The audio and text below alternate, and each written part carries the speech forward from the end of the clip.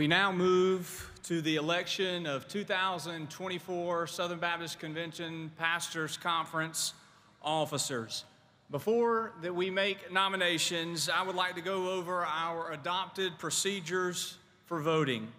We respectfully ask that only current and retired pastors who are likewise registered messengers for the 2023 SBC annual meeting participate in the election of officers. Eligible voters may receive a ballot at guest services located at the back of the convention hall. All nominations shall be made from the podium. Nominations for president are limited to three minutes. Those who are voting for the pastor's conference officers must be in the meeting hall when the vote is administered for their vote to be eligible. Mismarked ballots or ballots improperly submitted shall be declared invalid and will not be counted toward any nominee or considered in the overall tally. We have a nomination for president.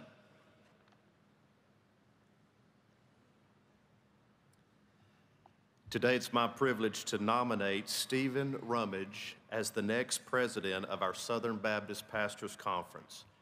Like you, I've attended this conference for years and have greatly benefited from those who have led us so well before. As we look to the future, I believe that Dr. Rummage is uniquely qualified to plan next year's meeting. In my view, he and his wife, Michelle, represent the very best that Southern Baptists have to offer. Stephen's credentials are impeccable. He received a PhD in preaching from New Orleans Seminary. He's taught preaching in three of our seminaries. He's written two books on preaching, and he's delivered numerous academic lectures on the subject of preaching. But more importantly than all of that, this brother can flat preach the word. And I am confident that he knows the kind of preaching that will encourage and challenge our pastors next year. When I think of him, the first verse that comes to my mind is 2 Timothy chapter 2 verse 15, which says, as you know, be diligent to present yourself approved to God as a workman who does not need to be ashamed, accurately handling the word of truth. For years, Stephen Rummage has modeled that verse faithfully walking through the Bible one verse at a time. In addition, he is a committed Southern Baptist. Quail Springs, where he pastors, is a leader in cooperative program giving. The last two years, his church has given more than $1 million annually to our cooperative mission. Every church that he has pastored has been a leader in baptisms. In addition to his service at the local level, Dr. Rummage has also availed himself to denominational leadership when asked. From 2016 to 2018, he served as the chair of our Southern Baptist Executive Committee. At the same time, in 2017 and 18, he served as the president of the Florida Baptist Convention. He has the mind of a scholar and the heart of a pastor. Stephen Rummage is a committed Southern Baptist.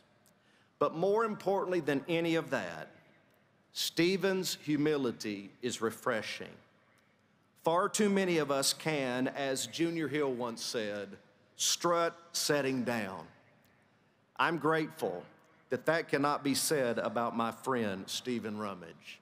He is kind and enjoyable to be around embodying the example of Philippians chapter 2, verse 3, which says, Do nothing from selfishness or empty conceit, but with humility of mind, regard one another as more important than yourselves. Stephen Rummage does not need to be the center of attention.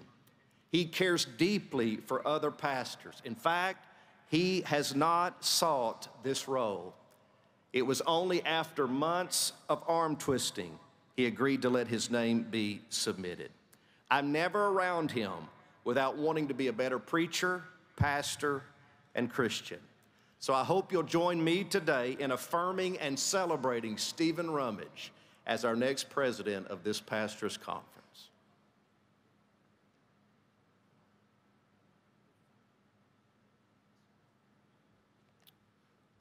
We have no other nominations, so I move that we elect Dr. Rummage by acclamation. If you would vote for Dr. Rummage to be the president of next year's Pastors Conference, would you raise your ballot at this time and say amen? Amen. Congratulations, Dr. Stephen Rummage, your 2024 SBC Pastors Conference president. It will be up to Dr. Rummage to appoint his officers, and once he does so in a timely manner, he will report back to us. Now, at this time, I am going to ask that you would turn your attention to the screen. Many of you who were with us last year remember praying for Aaron and Krista Collier. Uh, she was weeks away from a major surgery due to an invasive form of cancer. For those of you who are with us in Anaheim, she prayed that God's will would be done and that He would receive all the glory. And we prayed last year for her and for her family. So at this time, if you would, turn your attention to the screen. My name is Pastor Aaron Collier, and I'm the new pastor of First Baptist Church in Wimberley, Texas. I'm here with my sweet bride, Krista, and you, you may recognize us from last year in Anaheim. Our good friend, Pastor Matt Henslee, brought us to the platform during the pastors' conference uh, to pray for us two weeks before my wife walked into a major surgery involving breast cancer. What we want to do is just say thank you for the prayers, but give God all the glory for the miraculous way that He's answered them. You prayed, and God answered. Um, this is who our Heavenly Father is. When we left Anaheim last year, and we headed into one of the biggest trials um, that our family has ever faced. Um, and I was so comforted by the words of Isaiah in Isaiah 41:10, where God says, "Fear not, I am with you. Be not dismayed, for I am your God. I will strengthen you. I will help you. I will uphold you with my righteous right hand." I clung to those words as I sat through so uh, many appointments, um, so many meetings, learning uh, more and more about this stage two invasive cancer, learning that uh, I, I for sure was going to need chemo and radiation. And um, as I walked into those appointments, we just prayed and asked God to do something that the doctors would not be able to explain did. We walked into my double mastectomy surgery, which was an incredibly hard surgery. And as we went to the recovery room after that surgery, the doctor came in and he said, Well, I can't explain it, but there is no cancer in your lymph nodes, no radiation. He said, it, It's not explainable. And we said, Yes, it is. It's our God. We have thousands of people who have prayed over me and over this cancer that the Lord would do something miraculous.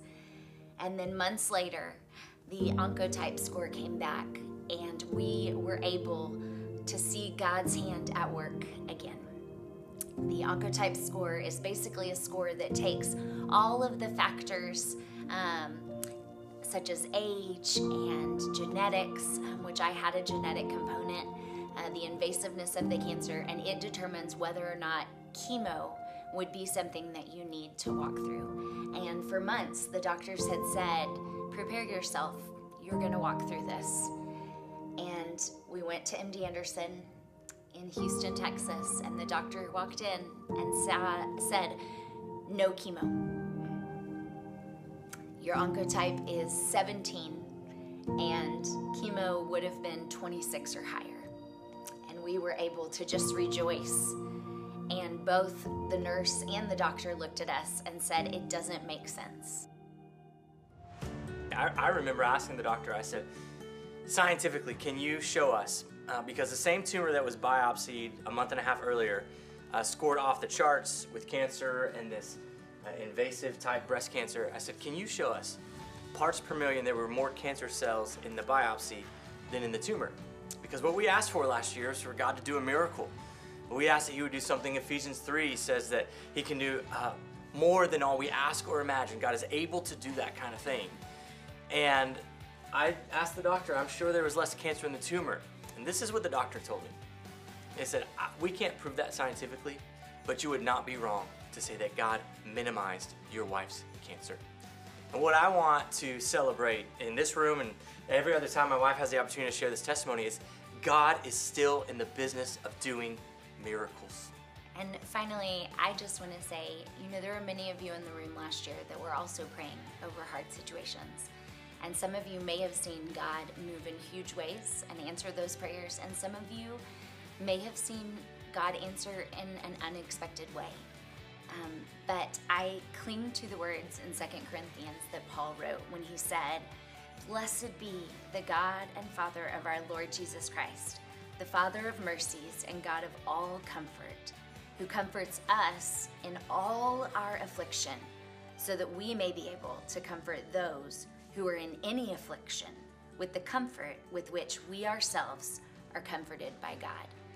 We have been comforted in the midst of our affliction and we are longing and looking forward to the day where those afflictions will be gone right. when Christ returns. But until that day, we, as pastors and pastors' wives, have the opportunity to continue to comfort others with the comfort with which we have been comforted. Let's continue to do the work that Christ has called us to. So we want to praise God with you uh, because He did glorify Himself in this situation. I want to thank you for praying, and I want to thank Pastor Daniel Dickard as well for giving us an opportunity to report on how great our God is. Thank you so much for praying. Never stop praying. That's what it says in 1 Thessalonians 5 that, that we should pray without ceasing. Let's be that kind of church.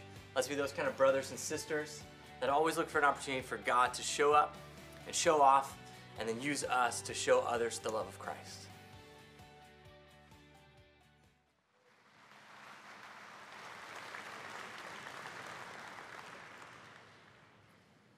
Praise God for what He's done.